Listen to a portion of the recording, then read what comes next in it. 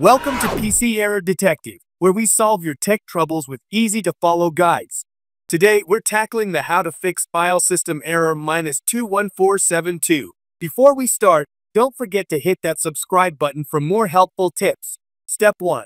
Let's start by accessing the settings. Press the Windows key and the I key at the same time to open the settings window. Step 2. Now, in the settings menu, click on Updates and Security, the last option in the list. Step 3. On the left panel of the Windows Update page, you'll find Troubleshoot.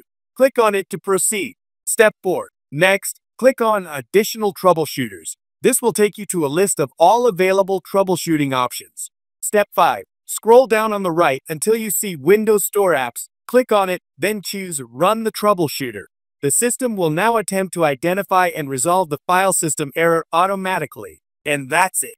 Thanks for watching and stay tuned for more videos.